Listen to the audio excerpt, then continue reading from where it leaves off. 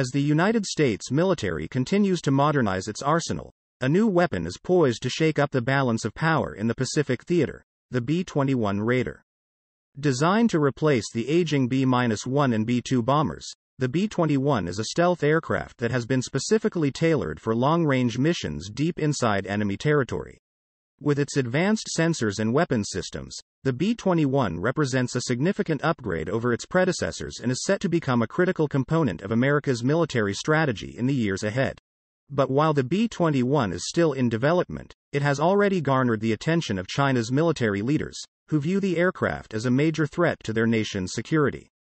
China has been rapidly modernizing its own bomber fleet, but the B 21's advanced stealth technology and cutting edge capabilities have left many Chinese officials deeply concerned about their ability to counter this new threat.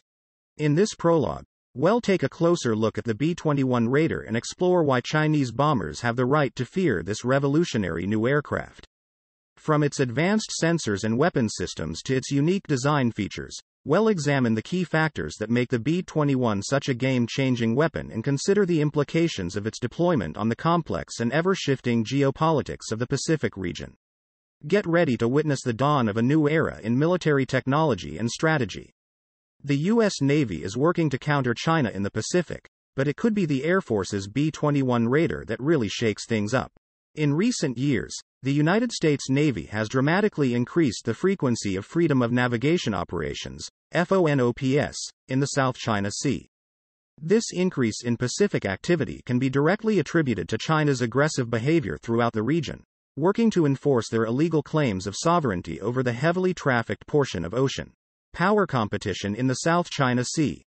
The South China Sea, a stretch of ocean that lies between Vietnam and the Philippines, is subject to numerous overlapping claims of ownership, many of which are backed by international law and commonly accepted norms.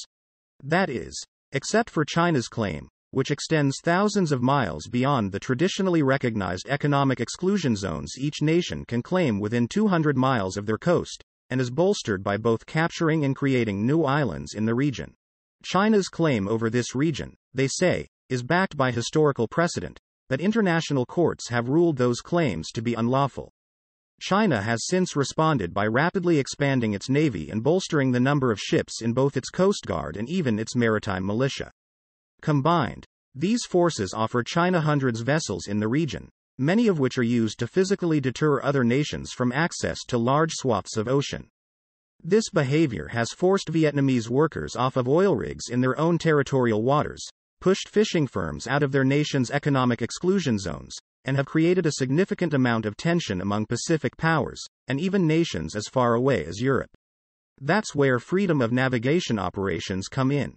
South China Sea FONOPs are voyages of military vessels through stretches of ocean that China considers their property, but that the rest of world recognizes as international waters.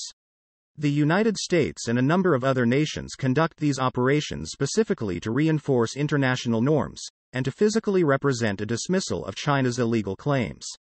However, as tensions between China and other global powers continues to mount, emerging hypersonic technologies promise to give China a seemingly indefensible advantage. China's hypersonic anti-ship missiles pose a serious threat. China has a massive stockpile of ballistic and cruise missiles at their disposal, including more than one hypersonic missile platform.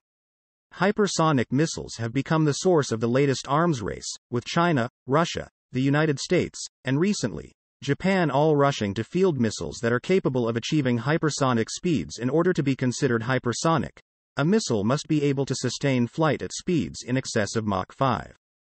The incredible speed Chinese missiles like the DF-17 and CM-401 can achieve make them nearly impossible to intercept and offers a massive amount of kinetic energy transfer upon impact.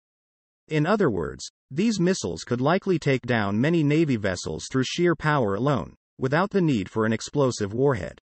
Of course, the addition of a warhead makes these platforms all the more dangerous.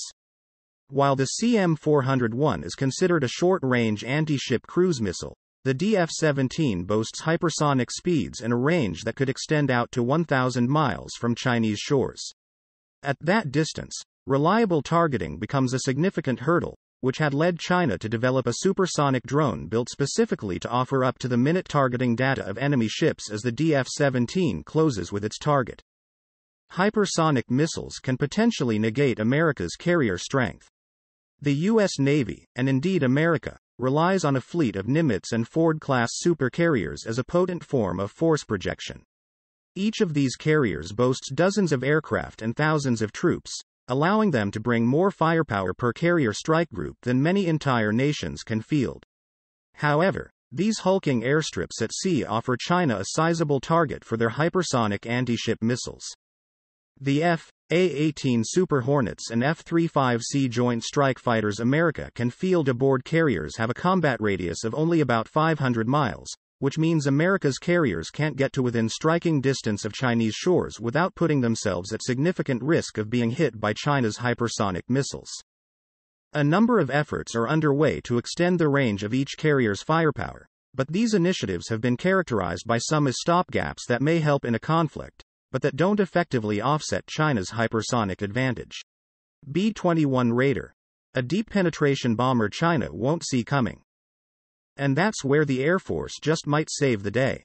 Their newest bomber, the Northrop Grumman B 21 Raider, is expected to enter service in the mid 2020s and promises to be the most advanced stealth bomber ever built. Northrop Grumman has done an excellent job of keeping secrets associated with the B 21, but some things are fairly safe to assume. This new bomber will be able to avoid detection like no bomber ever has before it, it will have global strike capabilities, and it would likely lead the way in a high end conflict against a nation like China. While F 35Cs might be able to avoid detection to close with Chinese missile platforms on shore, they wouldn't have the range to reach their target, destroy it, and return to the ship. But B 21s almost certainly could. The B 21 Raider would lead the way in a Sino American war. Of course, if relations with China were to degrade into war, the United States would likely not wish to deploy troops to China's mainland, where the largest standing army on the globe would give China a significant advantage.